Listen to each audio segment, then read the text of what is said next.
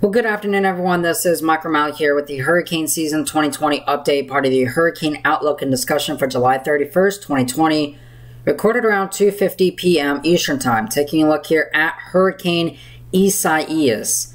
Maximum sustained winds of 75 miles per hour, pressure down to 991 millibars on a strengthening trend a little bit during the day today. We'll go over that here in a minute. Uh, currently, a couple of things to point out here. First of all, all of the tropical storm uh, warnings have been canceled for the Dominican Republic, Hispaniola, and Puerto Rico. So no tropical storm watches or warnings issued for or that are in effect for those islands at all. The biggest concerns now are uh, immediately to the Bahamas today and Florida tomorrow into Sunday and early Monday. So first of all, again, this is a hurricane down here, and this track forecast is bringing it up through the Bahamas near Nassau, uh, the Grand Bahama Island, Marsh Harbor area, some of those areas that were impacted hard by Dorian last year, you now have another hurricane coming your way. Again, it is going to be possibly strengthening in through here, although probably will not be much stronger than 90 or so miles per hour. But once again, you just never say never, and unfortunately, we just don't need a hurricane down here in this part of the world right now. But this is going to come close to, to Florida. And again, hurricane warnings in effect for all of the Bahamas at this point. Again, you know, gusty winds, heavy rainfall, uh, flooding, storm surge, that's going to be a big problem. For Florida, we have tropical storm warnings in effect for uh, from Deerfield Beach all the way to the Bavar or to uh, just south of uh, just south of the Brevard County line. This includes, um, you know, Vero Beach, um, you know, Port St. Lucie, uh, Port St. Lucie, those areas. And a hurricane watch has been issued from Deerfield Beach uh, through the Volusia Brevard County line up here. And this could be extended further northward as we progress throughout time here. And again, this is just something we really have to watch now going in through the next few days. Eventually, this is still expected to be a hurricane on approach into the Carolinas. So for you folks down here in South Carolina and North Carolina, it's now your turn to start getting your hurricane preparedness plans ready and implemented. Again, for Florida and the Bahamas, you should already be doing that. But now looking downstream from uh, from Florida and the Bahamas, now is going to be turning the attention towards uh, you know this, the Carolinas here. So for you folks you know, in the Carolinas, South Carolina included in that, and obviously North Carolina, and even all the way up through portions of, you know, Eastern Virginia and into the Delmar, you need to be start to, you know, you need to start taking your hurricane preparedness plans now, especially if you live in the Carolinas. Again, these day day four and five time frames, they're going to, to change around a little bit. But if you live in the Carolinas, down through Florida, obviously the Bahamas goes without saying, you need to be taking our hurricane preparedness plans right now, immediately. So a couple of things that we want to take a look at here. This is the uh, GOES 16 meso uh, mesoscale uh, floater here um, on Hurricane I Isaias.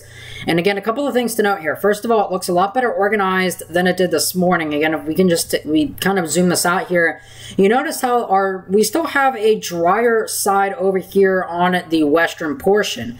You notice these clouds aren't necessarily filling this whole entire area out here, but we have a fairly good curved band that's stretching in through here. You also notice that there is some lightning. That's those little uh, uh, orange uh, X's right there, indicative of some lightning in the eye wall. And if we take a look here from the Bahamas uh, radar site here, this is uh, coming from uh, the, the Bahamas meteorology site. Again, if we just kind of stop that right here, again, you, you can notice a, a, couple of things here. First of all, we had an attempt earlier at the wrapping around of the eye wall right here. This would have signaled uh, what could have been a more significant bout of intensification but that ultimately failed, and we did not get that wraparound to occur. Now we're still left with kind of this partial eye wall. And again, this is very important because if this intensifies further, uh, this can take a track further to the east. But there's caveats to that, and we'll talk about that here in a moment.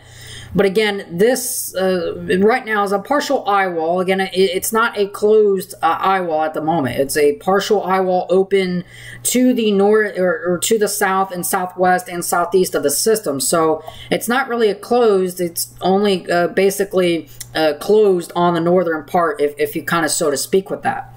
Now, the recon plane that was in there earlier uh, this morning did find a couple of things. First of all, you notice the pressures down here of about 995, 996. Now, these pressures were more consistent around uh, 994 to 993 uh, because they recorded about uh, the splashdown of the dropsondes uh, in this region we're consistently getting about 20 knot winds. That suggests that that's not the center because the, the center is obviously about zero. Uh, and so kind of roughly using some calculations, that's about 992 to 993 millibars. Now, uh, earlier or, you know, later in, in the cycle, the recon plane found some hurricane force winds again. They didn't find any on the first and second passes, but on the third pass, they found some hurricane uh, flight level winds Again, this is kind of fluctuating right now between about 60, maybe 70 miles per hour and 74 or 75 miles per hour. And the Hurricane Center obviously isn't going to keep changing this between tropical storm and hurricane each advisory. So it's better just to stick with the hurricane. Hurricane warnings are already in effect, obviously. It's producing hurricane force gusts. It's basically the same deal here. 70 and 75, you can't tell the difference. It's the same thing even 60 miles per hour at, at the low end, and that's obviously generous because this has a, a, partial eye wall. But the bottom line here, this you know is trying to get better organized. Pressures on the last pass through here were about 993. Again, the recon plane is now left, um, but 993 that suggests about 992 to 991 millibars. So this is trying to intensify further on approach into um, the central Bahamas here. So that is something to note. If we take a look here at the IR satellite presentation from tropicaltidbits.com. A couple of things to point out here. Uh, first and foremost, we have a pretty well developed uh, eye, eye structure here. And again, that's kind of very consistent uh, with the uh, eye wall that we kind of have this banding uh, kind of taking shape here. And again, this is not a really well organized, but it's trying to get better organized, and that's kind of the point that we're trying to get out here. And if you can, you can kind of see where we're getting these bouts of this uh, deeper convection to kind of blow up, and we do have some outflow. You can see some of the outflow there, and if we go back quickly here to the visible satellite, you notice here that we have a fairly good uh, environment uh, of outflow with the storm, especially off towards the northwest but we don't have so much of a good outflow pattern to the southwest. And that's where your some of the shear is to the southwest which is significantly prohibiting a lot of that outflow to rapidly expand. You notice that there is outflow to the southeast and some to the south, but there's not a lot uh, directly southwest because of that southwestern shear that's kind of being impinged on the system.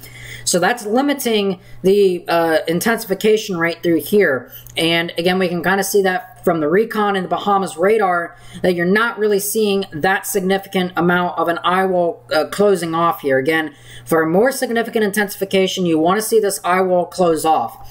So the trends today and tonight are going to be very crucial for deciding if this eye wall is going to try to close off or not. There is points where it really tries to close off, uh, but it just ultimately can't do it because the southwestern side is too dry and it's not um, supportive of deep convection yet, although some some of the shallower convection is trying to kind of wrap around and, and, form a primitively closed eye wall, but you need deep convection on all sides to be uh, truly closed, not just some light scattered precip. It has to be a little bit more than that.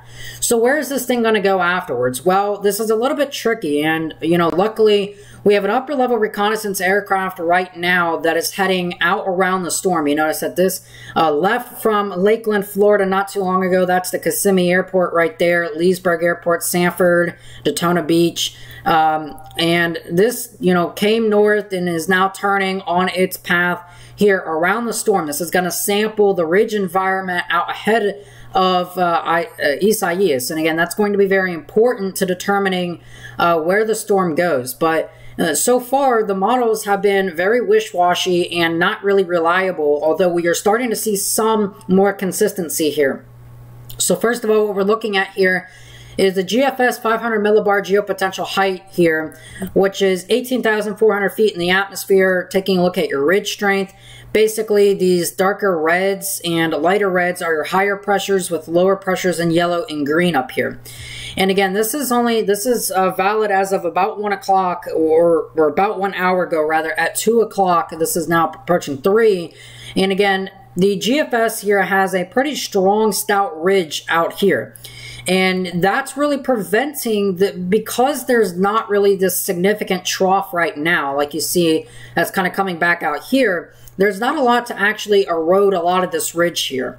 So what ends up happening is as you go forward, the next 24, we'll go 18 hours by early Sunday, you notice what's starting to happen here is our ridge is actually a little bit stronger. Our trough is relatively in the same position, but if we go back to even a couple of runs ago, you notice how that ridge strength is a lot higher. And this is kind of taking a look at some of the trends uh, over the past couple of uh, runs here. And you notice how that ridge is slightly stronger, nosing its way in here towards Florida. And that's keeping the storm on a more western trajectory and not allowing it to affect far to the north.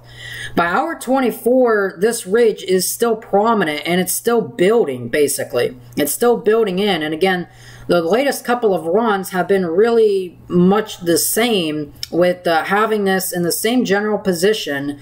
Uh, but again, you move out 30 hours now, the ridge is still not as prevalent. And if we can kind of get the comparisons, there we go.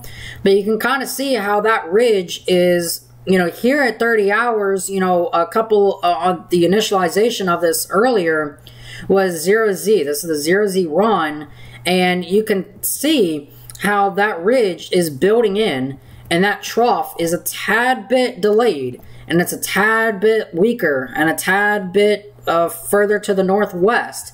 That allows this ridge to continue building in. And some of the recent guidances has getting us awfully close to Florida here.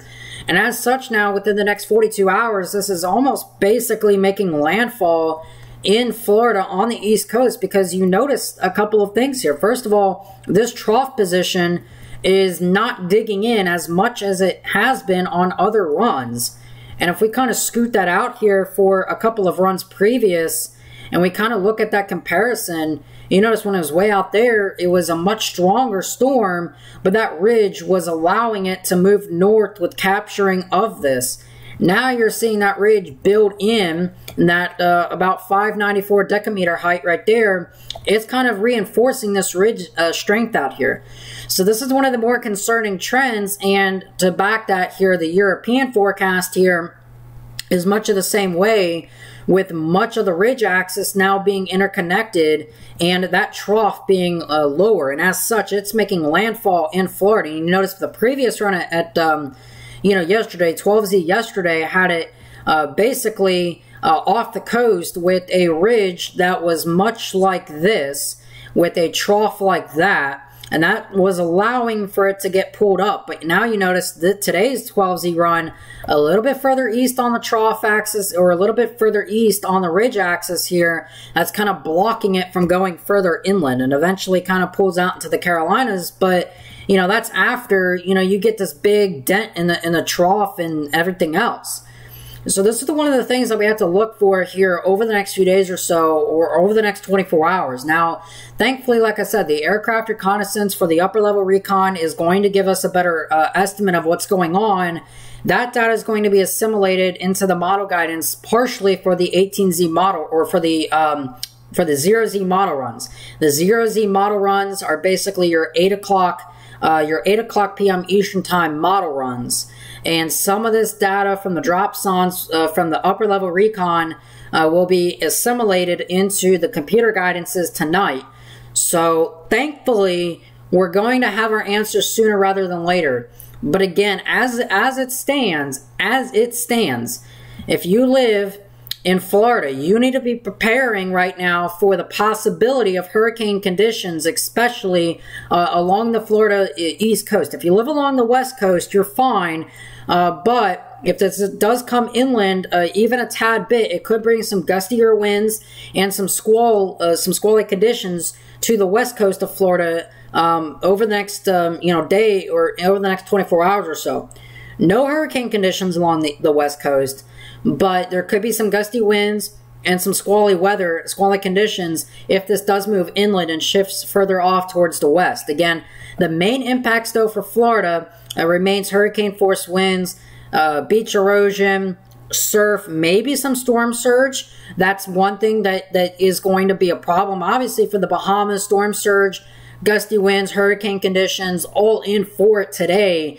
So for you folks in the Bahamas, that's you know going to be a rough situation, and the weather is going to continuously deteriorate uh, across the central and northern Bahamas uh, later today and tonight, and then through uh, Florida by tomorrow, tomorrow evening, and then through Sunday. For Central Florida, from Orlando east, that's probably where the best chance for gustier winds, squally conditions will be. The best chance for hurricane conditions immediately along the coast, but if you live in Osceola, Orange, Brevard, Seminole, Volusia, um, those counties that I'm calling out, you know, and many more counties than that, but if you live in those specific counties, be ready for some tropical storm force gusts, especially Brevard, Volusia County. Uh, hurricane conditions possible. Um, and obviously, even through Lake Okeechobee, tropical storm conditions are possible. So, again, a lot to watch here over the next few days or so. And just as a quick reminder that it is hurricane season, there is two more systems out here. This little system right here, not really doing a whole lot. Again, that is not, I'm not sure why that's updating, but only 20% here over the next five days. And this little system in the southwestern Atlantic, a 30% chance over the next five days. None of these really poses a threat to land uh, directly at this moment. So our main focus is going to be on Isaias here over the next couple of days or so. Don't forget, I'm on Twitter at Mike Remaley1. Go follow me there. I'll be posting more consistent updates throughout the day today. Um, also, our camera system project, we are going to be deploying that uh, in front of Hurricane Isaias as it, as it could potentially make landfall here in Florida or just stay right off the coast. Again, a lot is going to depend and hinge on the track here over the next 12 to 24 hours. But if it does track close enough to bring some uh, good conditions, we are going to set it up here and at our home base, and we will be bringing that to you guys. All right. Hope you have a great rest of your afternoon and early evening. Since we have more direct threats to land now, I will be doing three video updates a day. So be on the lookout for another video update from me by later this afternoon and evening, probably uh, about 7 or 8 o'clock this evening. Probably by the 8 o'clock intermittent advisory, I'll be back with another uh, brief video update regarding Hurricane Isaias. All right, take care, everyone. Of course, be sure to prepare now. It's never too late to prepare. And, or, you know, sometimes it is, but never too early to prepare, rather. And of course, you know, heat advice from the Weather Service and your local your local government officials and the Hurricane Center. All right. Take care, everyone. Have a great rest of your early afternoon and early evening. I'll see you guys back here around 8 o'clock for the intermittent advisory. Take care.